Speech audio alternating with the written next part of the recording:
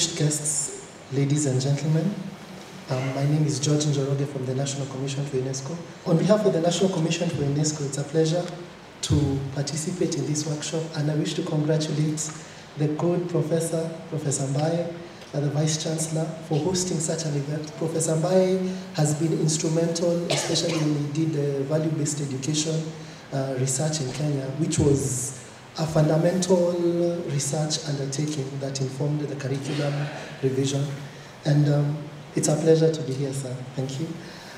Um, kindly receive greetings from the board and the management of the commission. I stand to represent Dr. Evangeline Njoka, the CEO, who is currently indisposed um, by duty.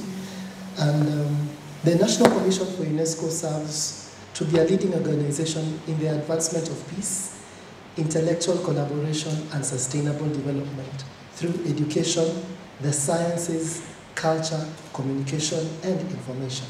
And it is in this that we seek to push the actualization of the Sustainable Development Goal 4. We understand that Goal 4 is at the heart of the actualization of all the other goals on the Sustainable Development Block. Yet, without ethics, these will only be frameworks that cannot be truly actualized and completely reported. This here is the conference that makes sure that we have the body of knowledge and the integrity in the entire system that moves the world forward. And uh, it's a great honor to, to be here.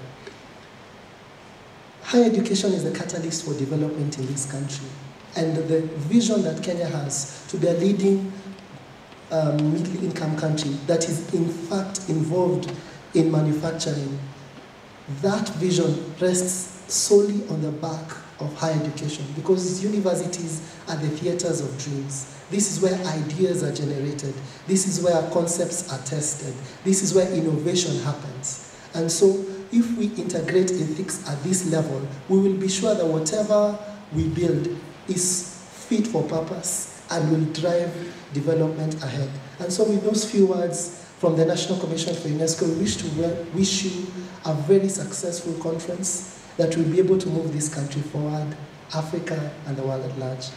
May we be sanctified in the truth. Thank you.